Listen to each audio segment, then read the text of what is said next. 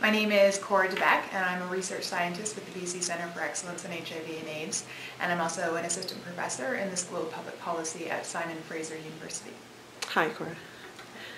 What kind of research will you be able to perform thanks to the funding you receive from these awards? Yes, this award uh, makes a huge difference for me. It's um, allowing me to work with uh, an existing longitudinal cohort of street-involved youth here in Vancouver, the At-Risk Youth Study, uh, which is currently following around 700 street-involved youth um, here in Vancouver.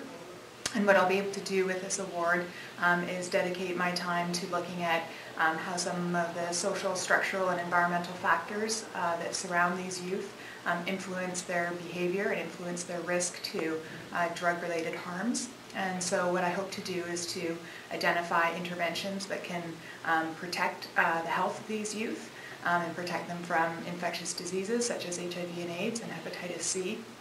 and also improve their, their overall health, um, help them access things like housing and um, addiction treatment and other uh, sorts of um, health and social supports um, within Vancouver.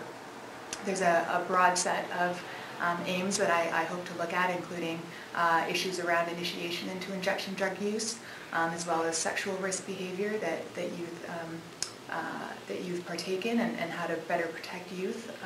from from some of the risks that they do engage in.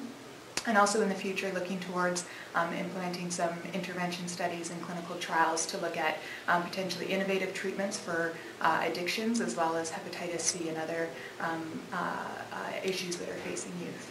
So I'm very uh, grateful to have the opportunity to do this work and I hope that it will um, make a difference for, for youth in Vancouver but also have implications uh, nationally and internationally.